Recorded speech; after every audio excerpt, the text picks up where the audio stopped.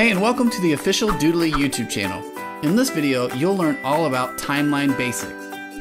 Please click the like and subscribe button below. By subscribing, you'll be notified when we release free trainings. And if you have any questions about what we cover, leave a comment and the awesome Doodly community would love to help. Thanks for watching. Now let's get straight to the training. In this tutorial video, we're going to go over adding additional scenes, working with audio, and using the camera panning tool. Earlier, we created this scene with the veterinarian's office. Now we want to have a new scene. So in order to do that, we just go down into the timeline and click this plus button, Add New Scene. And now you'll see I have a blank whiteboard once again, and I can build a scene like we did earlier. This time we're going to do it from scratch. So let's go ahead and take the same character in a different pose. I'd like to flip her, so I'm going to select and click the flip button. And then let's add some text. Select the font that you like, double click to enter, and then you'll just type in your text.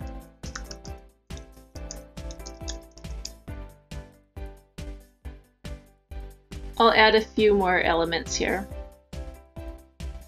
Okay, that should be fine. Now let's do some work with the text. Let's make this larger. And let's change the color. Click the gear icon and select a color.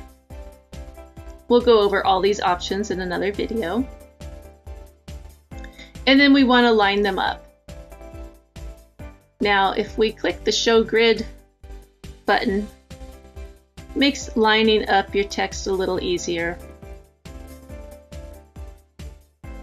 And that should be fine. So I'm going to go ahead and hide the grid. And then maybe let's add some the cat again. Uh, let's use a different cat. And then maybe a dog.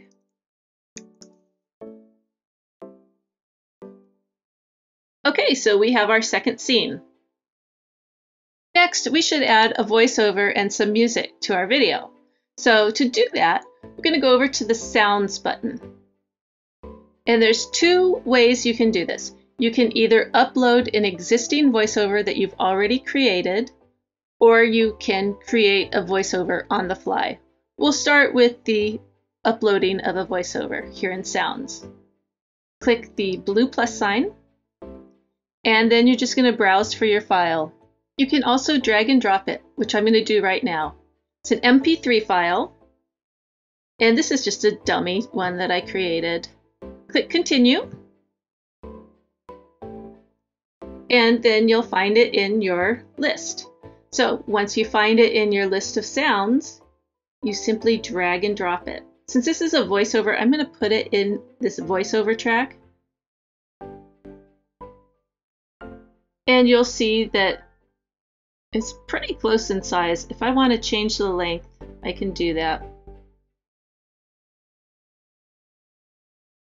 What you want to do is, is get your little handle over it, and then you can just shorten that to the beginning.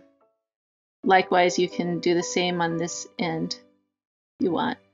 And then just position it into your scene. So now I have a voiceover. And then music is also located here in sounds. And then you'll just scroll through and start listening to music that you until you find what you'd like.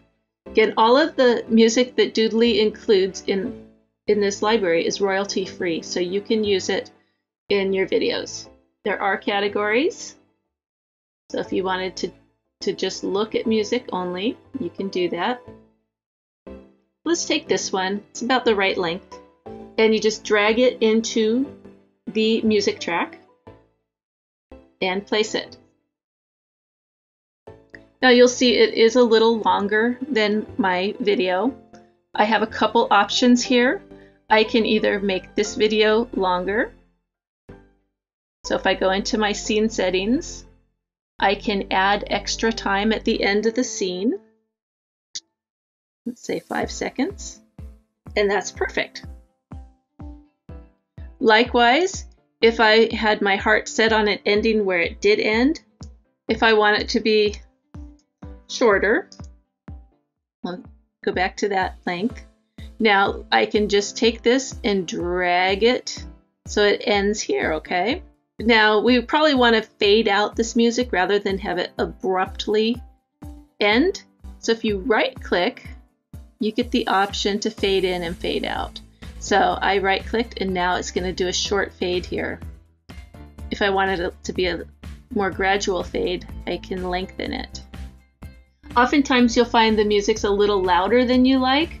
So if you click here on the speaker, you have a volume control. So just drag and drop until you get it where you like it. I'm going to have it lower like that. If you want to add some sound effects, you can add additional tracks. So you just click on the three dots and choose add track. So now you can have another track containing sound effects or another voiceover or whatever you want to do here. Now, if you want to record your own voiceover on the fly, you can do that in Doodly as well. So let's go ahead and delete this voiceover that we added earlier. You just select it and then over here on the right there's an X.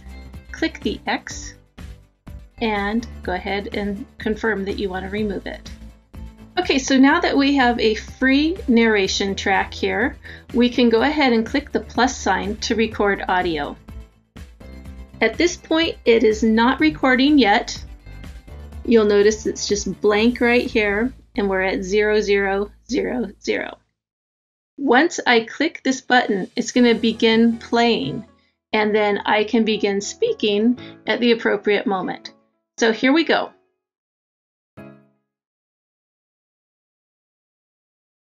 Welcome to the cat doctor. Blah, blah, blah, blah, blah, blah. So this is my voiceover. You'll see that it's recording. And when I click the stop button, it's going to stop. And here's my voiceover track right here.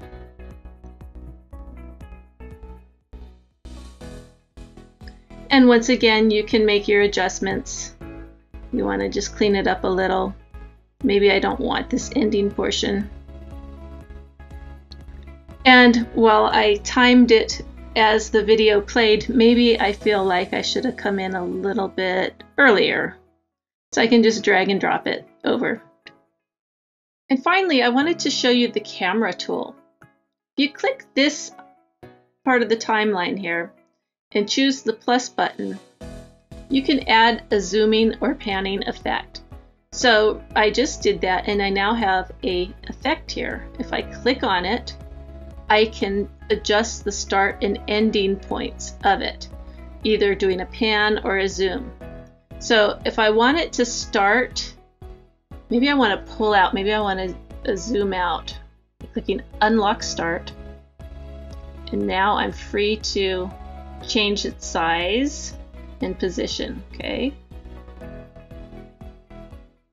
So maybe I want to start here and then I want it to end full screen. So I'm going to click apply. And if we hit preview, you'll notice that it zoomed out. It was pretty quick, so I'm going to make it a little bit slower. So let's make it a five second camera move. And click preview once again. And there you go. Thanks for watching!